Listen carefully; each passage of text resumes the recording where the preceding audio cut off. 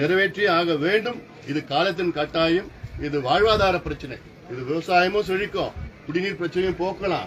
இது இன்னொரு மிகப்பெரிய பொருளாதார முன்னேற்றம் அந்த ஒட்டுமொத்த சேலம் மாவட்டத்துக்கு வரும். அந்த பனமரத்துப்பட்டி ஏரி மூலமாக சேலம் மாநகராட்சியினுடைய தண்ணீர் தேவைகளை பூர்த்தி செய்யலாம். அதனால இதை அவசியமாக முதலமைச்சர் அவர்கள் அறிவிக்க வேண்டும்.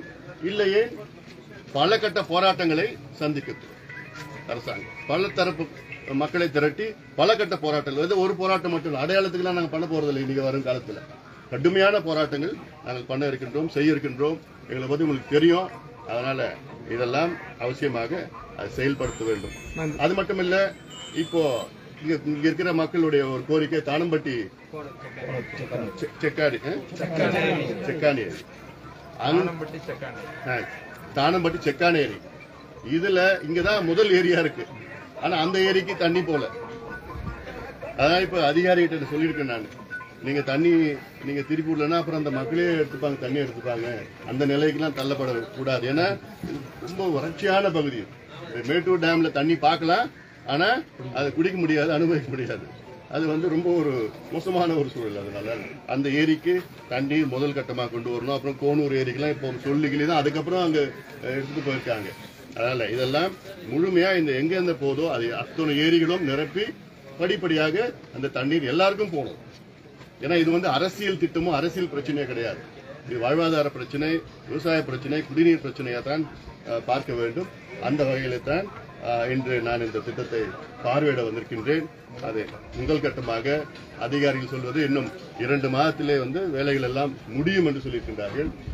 முடித்து இப்போ வருகின்ற தென்மேற்கு பருவம் காலத்திலே உபரி நீரை இப்பொழுது நீரேற்று மூலமாக ஏரிகளுக்கு சென்று செல்லலாம் என்றெல்லாம் சொல்லி உறுதி சொல்லியிருக்கிறார்கள். இதை விரைவாக முடிக்க வேண்டும்.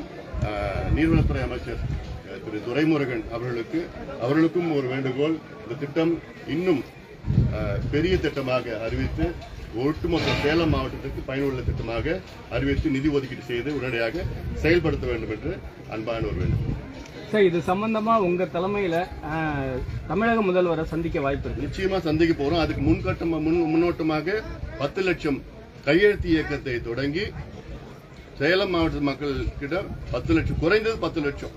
ஏன்னா இப்போ இவங்கெல்லாம் பார்த்தா விட்டா இருபது லட்சம் வாங்கிடுவாங்க. அப்படி கையெழுத்து எடுத்து அத்த கையெழுத்தையும் எடுத்துட்டு போயிட்டு முதலமைச்சரை என் தலைமையில நான் சந்திக்க போறேன். ஏன்னா இதுதான் எடப்பாடி பழனிசாமி அவர் முன்னாள் முதலமைச்சர் அவர்கள் தருமபுரியில் நடந்தது அது. அங்கே தருமபுரியில் பத்து லட்சத்தி முப்பதாயிரம் பேர் கையெழுத்து போட்டாங்க அது. அது கொடுத்தோம். அப்போ சரின்னு சொன்னார். அப்புறம் அறிவிச்சாரு. ஒரு முறை இல்லை ஒன்பது முறை அறிவிச்சாரு. அதுக்கப்புறம் போய் கேட்டால் நிதி இல்லைன்னு சொல்லிட்டார். அந்த நிலையில் இங்கே சேலத்துக்கு வரக்கூடாது. ஆனால் இங்கே வேறு விதமான போராட்டங்களை நாங்கள் கடுமையாக நாங்கள் பண்ண இருக்கின்றோம் சார் இந்த உபரி நீரை எடுத்துட்டு போறதுக்கு டெல்டா விவசாயிகள் எதிர்ப்பு தெரிவிக்கிறாங்க இதுக்கும் அதுக்கு சம்பந்தமே கிடையாது. டெல்டா விவசாயிகளுக்கு வந்து ஒரே ஒரு சின்ன பாதிப்பு வரப்போறது கிடையாது இதனால. இது உபரி நீர் தான்.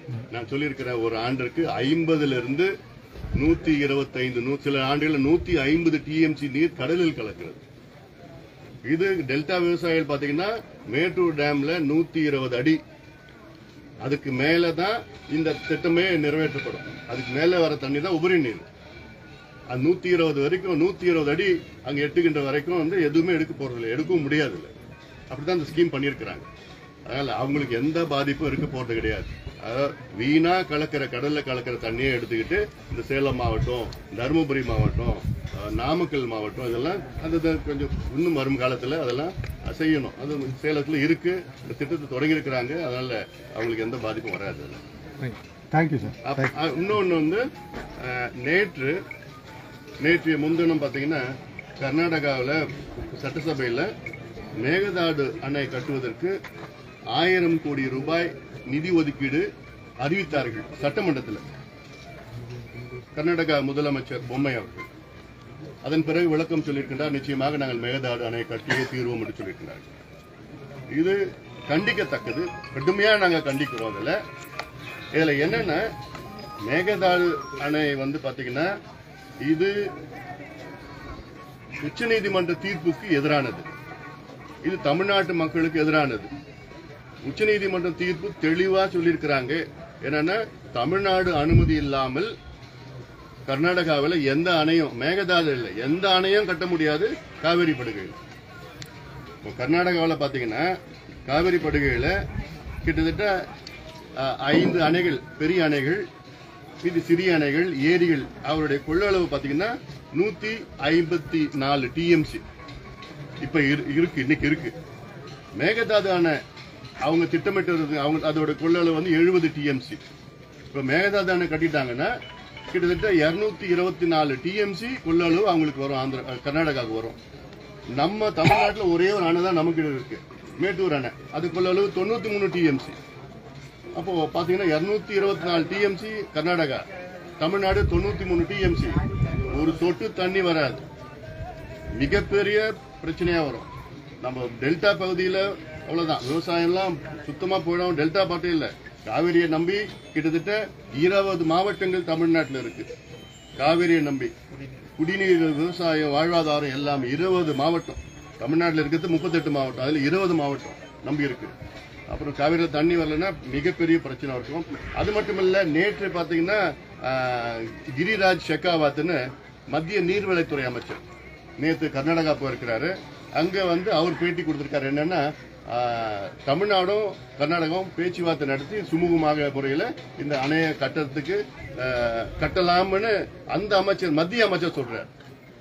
அவர் வந்து ஒரு நடுநிலையா செயல்படணும். கர்நாடகாவில் பிஜேபி அரசு இருக்கு மத்தியில பிஜேபி அரசு இருக்கு. அதனால அங்க போய் அவங்களுக்கு சாதகமா ஒரு மத்திய அமைச்சர் வந்து நடந்துக்கிறாருன்னா அது தப்பு. தவறானது. தவறான போக்கு அது. நடுநிலையா இருக்கணும். கூட்டாட்சி தத்துவத்திற்கு ஏற்ப இருக்கணும். போய் அவங்க அவங்க கட்சி அங்க ஆட்சி செய்கிறது காரணத்தால அவங்களுக்கு சப்போர்ட் பண்ணலாம் ஆதரவு கொடுக்க கூடாது அதுல விடவோ மாட்டோம் அதெல்லாம். தப்பு இதுக்கு முன்பு உமா பாரதி அவர்கள் நீர்வளத்துறை அமைச்சராக இருந்த நேரத்துல என்கிட்ட பல முறை உறுதி கொடுத்தாங்க லெட்டரும் எழுதியிருக்காங்க. என்னன்னா தமிழ்நாட்டு அனுமதி இல்லாமல் கர்நாடகாவில் எதுவும் கட்டக்கூடாது கட்டவும் முடியாது. இப்போ கர்நாடகாவில் அடுத்த ஆண்டு தொடக்கத்தில் தேர்தல் வருது. சட்டமன்ற தேர்தல் வருதுங்க. அந்த சட்டமன்ற தேர்தலுக்காக அங்க இருக்கிற காங்கிரஸ் கட்சியும் சரி பிஜேபியும் மாத்தி மாத்தி நாடகம் ஆடிட்டு ஆடிட்டு இருக்காங்க இப்போ. இத மேகதாது வச்சுக்கிட்டு. காங்கிரஸ் பார்த்தா நடைப்பயணம் பாத யாத்திரை இப்படின்னு போயிட்டு இருக்காங்க பிஜேபியில பார்த்தா சட்டமன்றத்துல இல்லாத திட்டத்துக்கு ஆயிரம் கோடி ரூபாய் நிதி ஒதுக்கீடு செய்யறாங்க இல்லாத திட்டத்துக்கு. இப்ப இதனால என்ன ஆகும்? பதட்டமான சூழல் வரும். ரெண்டு மாநிலத்துக்கும் பிரச்சனை வரும். கடந்த காலத்தில் நம்ம பார்த்துட்டோம் அதில் அதுதான் இப்போ கிளப்பி விடுறாங்க இப்போ. நான் கேட்கிறேன் இப்போ தமிழ்நாட்டுல பிஜேபியும் காங்கிரஸும் என்ன சொல்றாங்க? அவங்க நிலைப்பாடு என்ன? எனக்கு என்னோட கேள்வி அது. நீங்க நிருபர்கள்லாம் கேளுங்க. பிஜேபிட்டையும் கேளுங்க காங்கிரஸ் கேளுங்க. உங்க கட்சியில அங்க கர்நாடகால தண்ணி விட மாட்டோம். மேகதாது அணை கட்டியே தீர்வோம்னு அங்க சொல்றாங்க. இங்க என்ன பதில் பதில் சொல்ல போறாங்க? அதனால இதை கடுமையா நாங்கள் கண்டிக்கின்றோம். நிச்சயமா மேகதாது அணை கட்ட விட மாட்டோம். எந்த அளவுக்கு நாங்கள் தியாகம் செய்யறதுக்கு நாங்கள் தயாராக இருக்கோம். என் கூட கோடிக்கணக்கான தம்பிங்க இருக்கிறாங்க.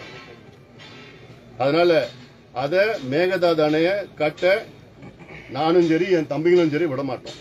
அதுக்கு எந்த அளவுக்கு போகிறதா நாங்கள் தயாராக இருக்கிறோம் எந்த தியாகம் செய்யறதுக்கு நாங்கள் தயாராக இருக்கோம். ஏன்னா இது தமிழ்நாட்டின் உயிர் நாடி பிரச்சனை. அது ஒன்று. அடுத்தது சமீபத்தில் பார்த்தீங்கன்னா சென்னை உயர்நீதிமன்றத்தில் தமிழ்நாட்டில் உள்ள குடிப்பகங்கள் பார். இது ஆறு மாதத்துல வந்து மூடணும்னு ஒரு தீர்ப்பு கொடுத்தார் நீதிபதி. இது மிக சரியான தீர்ப்பு. தீர்ப்பை நாங்க அன்னைக்கே வரவேற்போம் அன்னைக்கே நான் சொன்னேன் இந்த தீர்ப்பை எதிர்த்து தமிழக அரசு மேல்முறையீடு செய்யக்கூடாது. உடனடியாக நடைமுறைப்படுத்துங்கள் என்று நான் சொன்னேன். ஆனா இன்னைக்கு பார்த்தா அந்த தீர்ப்பை எதிர்த்து தமிழக அரசு மேல்முறையீடு செய்திருக்கிறது. அப்போ தமிழ்நாட்டு அரசினுடைய நிலைப்பாடு என்ன? குடிப்பங்குகள் வேண்டும். இன்னும் நிறைய திறக்கணும். குடிச்சு தமிழ்நாடு நாசமா போகணும். அடுத்த தலைமுறை அழிச்சிடணும். இளைஞர்களை நாசப்படுத்தணும். பெண்களை விதவை செய் விதவை ஆக்கணும். அந்த முடிவுல தான் முதலமைச்சர் ஸ்டாலின் இருக்கிறாரா? இது முதலமைச்சர் ஸ்டாலின் அவர்களுக்கு ஸ்டாலின் அவர்களுக்கு என்னுடைய கேள்வி. என்னன்னா உங்களுடைய நிலைப்பாட்டை தெளிவுபடுத்துங்க. உங்க கட்சியினுடைய நிலைப்பாட்டை தெளிவுபடுத்துங்க. தமிழக அரசின் நிலைப்பாடை தெளிவுபடுத்துங்க. நீங்க பல முறை சொல்லியிருக்கீங்க. பூரண மது விலக்கை நாங்கள் அமல்படுத்துவோம் சொல்லியிருக்கிறீங்க. ரெண்டாயிரத்தி பதினாறுல முதல் நாள் முதல் கையெழுத்து பூரண மது விலக்குன்னு சொன்னீங்க. அதன் பிறகு அதுக்கப்புறம் ஒன்றும் செய்யல. ஆட்சிக்கு வந்திருக்கிறீங்க. இப்ப நீங்க மதுவை நீங்க ஊக்கப்படுத்துறீங்களா? எப்போ இல்லை தடை பண்ண போறீங்களா? இல்ல இந்த வருமானத்தை தான் நாங்க அரசாங்கம் நடத்துறோம்னு சொல்லுவீங்களா எங்களுக்கு கொள்கையெல்லாம் முக்கியம் இல்ல. எங்களுக்கு நிதி தான் வேணும். இளைஞர்களும் பெண்களும் நாசமா போனா பரவாயில்ல. அடுத்த தலைமுறை அழிஞ்சாலும் பரவாயில்ல. நாங்க மதுவை விட்டு தமிழ்நாட்டை குடிகார நாடா மாத்துவோம்னு அப்படிதான் அவங்க நிலைப்பாடுன்னு அதை தெளிவுபடுத்துங்க. ஒரு நீதிபதி சொல்றாரு ஆறு மாதத்துல எல்லாம் பாரும். எல்லாம் அந்த பார் எல்லாமே வந்து இல்லீகலா நடக்குது. சட்டத்துக்கு இடமே இல்லை. தமிழ்நாட்டுல குடிப்பக்கங்கள் திறக்கணும்னு சட்டத்துல எங்கேயுமே இல்லை. அதனால்தான் நீதிபதி அது வந்து ரத்து பண்ணார். அதை எதிர்த்து ஒரு மேல்முறையீடுன்னா இது அசிங்கம். தமிழக அரசுக்கு இது அசிங்கம். இது சம்பந்தமா அவங்க கட்சியில் இருக்கிற கனிமொழி நாடாளுமன்ற உறுப்பினர் எல்லாம் பல முறை சொல்லியிருக்காங்க. நாங்க இப்போ பூரண மதுவிலக்கு கொண்டு வருவோம். கடைகளை அடைப்போம். குடிப்பங்களை மூடுவோம். ஃபேக்டரியை நாங்க மூடுவோம். என்ன பண்ணுவீங்க அப்போ? ஒரு சாதாரண ஒரு தீர்ப்பை அதுக்கு உங்களால தாங்க முடியல. அப்போ உங்க நிலைப்பாடை தெளிவுபடுத்துங்க மக்களுக்கு தெரியப்படுத்துங்க. இது உடனடியாக மூடணும். தமிழ்நாட்டில் படிப்படியாக பூரண மதுவிலக்கை கொண்டு வந்து தமிழ்நாட்டு மக்களை குறிப்பாக இளைஞர்களை இந்த தலைமுறை அடுத்த தலைமுறையை காப்பாத்துங்கன்னு எங்களுடைய வேண்டுகோள். நன்றி சரிம்மா? நன்றி நன்றி. நன்றி நன்றி.